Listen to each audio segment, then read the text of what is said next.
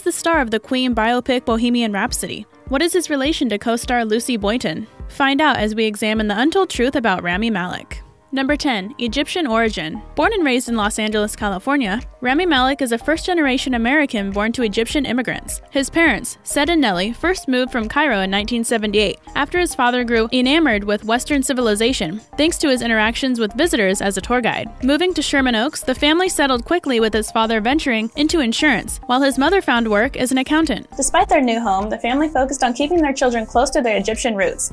So Rami and his siblings, Sami and Yasmine, were all taught to speak both English and Egyptian Arabic from a young age. Keeping a close proximity to Egyptian culture has played a deep role in shaping Malek, as he credits a childhood full of celebrating his heritage as crafting the fabric of who he is. Number 9. Superstar Schooling. Growing up in Los Angeles can be tough, and with his childhood so heavily ingrained with his family's native culture, Malek had a difficult time adjusting.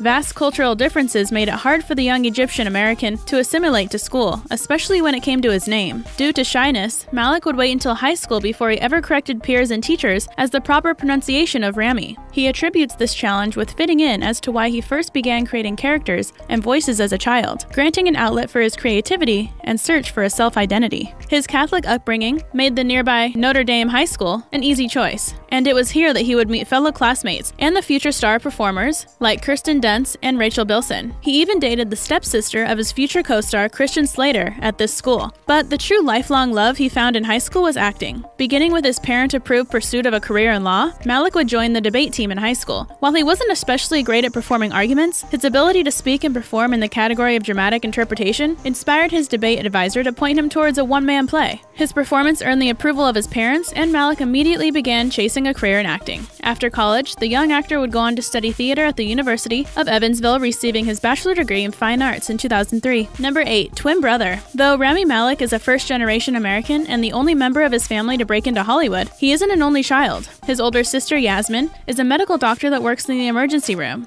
He also has a brother named Sami, who works as an ESL and English teacher. But a similar name isn't all Rami shares with his brother. Their pair are actually twins. Older by just four minutes, Rami and his brother look nearly identical, with Rami's more svelte physique being the chief difference between the two. Their indistinguishable good looks made the pair a handful in their youth, as the two Malek brothers would often cause trouble by pretending to be one another. In college, for example, Rami once stood in for Sami to recite a Greek monologue in class, a requirement Sami needed to pass in order to graduate. Rami's performance was so good it caught the professor off guard, considering it was a 180 degree turn from Sami's typical working class. Nonetheless, the professor even requested an encore for a later class. Sami got to return the favor years later, though. When at an after party at an award show, he graciously accepted all the praise from strangers looking to compliment his famous brother. Over time, it will be interesting to see what other shenanigans and hijinks this pair of troublemaking twins can come up with. Number 7. Tough Break. Making the leap from the school stage to being a professional on-set actor doesn't come overnight for most actors, and Malek was no different. Immediately after college, Malek would move to New York and find work, sharing a one-bedroom apartment with various other tenants, looking to make it in show business. While chasing his acting dreams, Malek wound up working a number of jobs within the food industry to make ends meet. Some of his jobs including delivering pizza and working at a falafel and shawarma shops. To make matters tougher, Malek worked all these jobs while possessing a college degree. Making the most of his situation, though, the actor would use his delivery routes to get his name out, attaching a headshot to the pizza boxes destined for anyone he thought might be in the industry. He tried this for years until one fateful day it actually worked out. One customer finally contacted him, and by the next day, he had joined the Screen Actors Guild. But the journey didn't immediately improve, as many of Malek's first roles would end up being cut down for a number of reasons. Parts he had landed in films like 2012's The Master and 2013's Oldboy were shortened significantly, slowing his ascent to stardom in the process. Though the latter example was eventually made up to him as director Spike Lee would cast him once more for the crowd-funded 2014 movie The Sweet Blood of Jesus.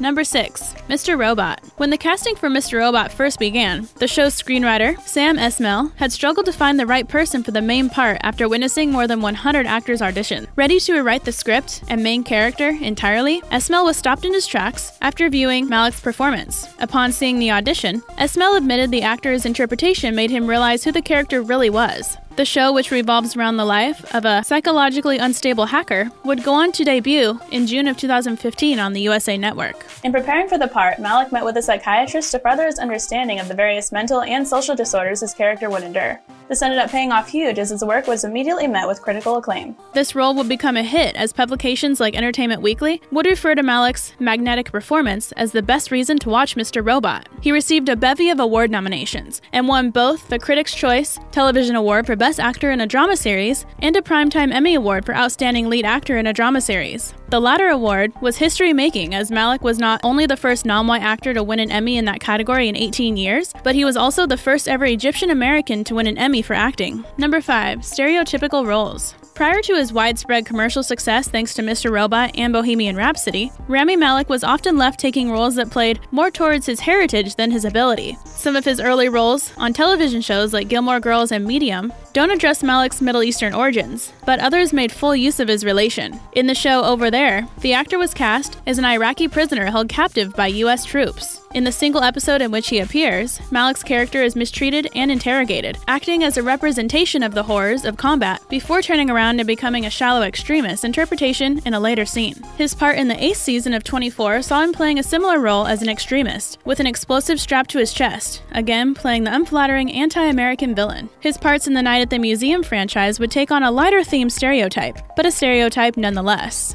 when the Egyptian actor took on the part of King Ahkmenrah, a mummified pharaoh contained within the fictional museum. While this role definitely helped him become a more common face in the mainstream, Malek thankfully has received well rounded roles where his heritage and culture is a component, and not the entirety of his identity. Number 4. Game Star. Malek has made his mark both on television and in film, but the wide eyed young actor has ventured into a third medium most actors have yet to touch video games. The actor first made his foray into the gaming scene with Halo 2, working as an uncredited voice actor for a variety of side characters in 2004.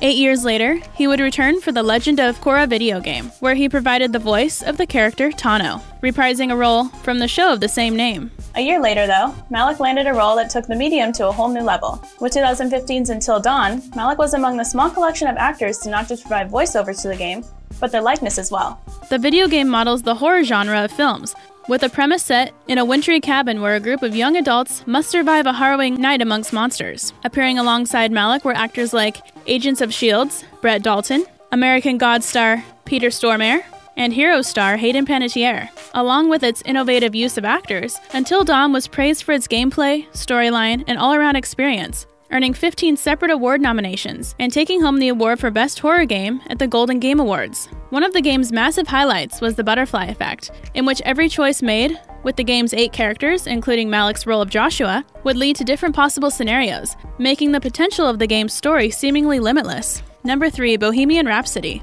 Rami Malek nabbed one big fish when he landed the role of Freddie Mercury in the 2018 Queen biopic Bohemian Rhapsody one of the most commercially successful films in 2018. The movie garnered a massive $844 million in box office revenue after filming with a budget of just $50 million. While Queen and the late iconic legend, Mercury, are a huge reason behind the project's success, it didn't hurt that Malek delivered on his end with flying colors. Receiving widespread critical acclaim, Malek's performance was praised for its accuracy, bravado, dedication to the source of material. To ready himself for the role of a lifetime, Malek enlisted the help of a dialect coach, a movement coach, a piano teacher, and a vocal instructor. He moved to London and studied Mercury's movements and behavior for four hours a day, closely examining videos like Queen's 1985 Live Aid concert, which Malek watched over 1,500 times on YouTube. To top off the difficulty of the experience, Malek had to learn to do all these things while wearing fake teeth, a prop used in the film to depict Mercury's overbite. Throughout the course of shooting the film, Malek's performance became so close to the singer's actual behavior that even Mercury's old bandmates were fooled. Queen guitarist Brian May has said on record that his portrayal of Freddie Mercury was so spot on that they sometimes forgot that he was Rami.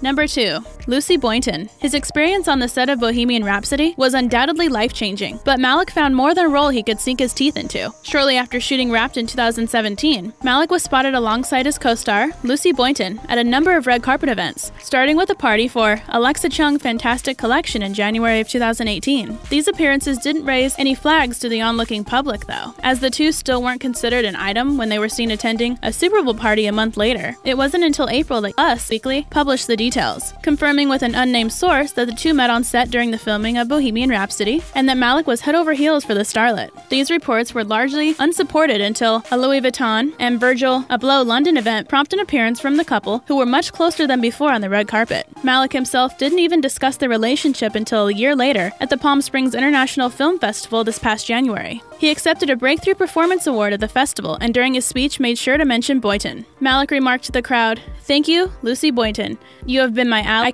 My confidant, my love, thank you so much. Since then, the couple appeared hand in hand at the Golden Globes, the Critics' Choice Awards, the Screen Actors Guild Awards, the BAFTA Awards, and the Oscars, blatantly letting their love be known by all. And now for our number one. Don't forget to subscribe.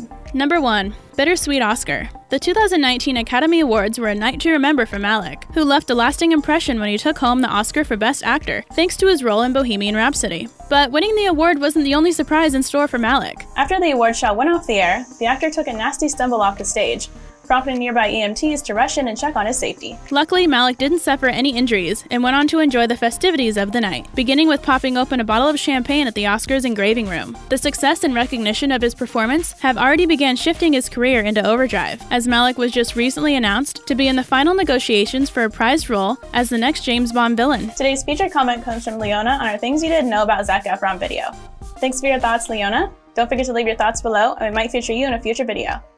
Hope you enjoyed the video. Don't forget to like, comment, and subscribe, and I'll see you in the next video.